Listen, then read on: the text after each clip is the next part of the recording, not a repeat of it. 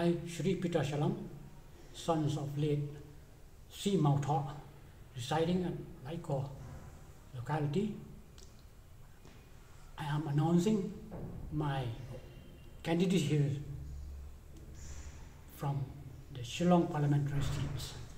Therefore, I appeal to all the voters of this 36 constituency, which was known as the Shillong parliamentary seats, to kindly support me this time, and I'll fight for you people of the Shillong parliamentary inside the parliament along with the 500 plus MP inside the parliament and outside the parliament.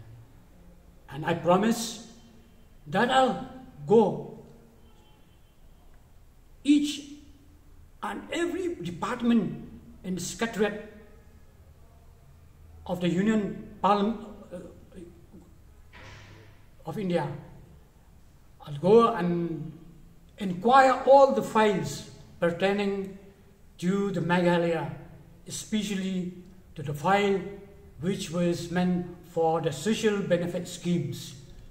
See, Meghalaya was being tagged as a poor state next to Bihar and Jharkhand, according to the recent data which was uh, published uh, by the Niti Aayog.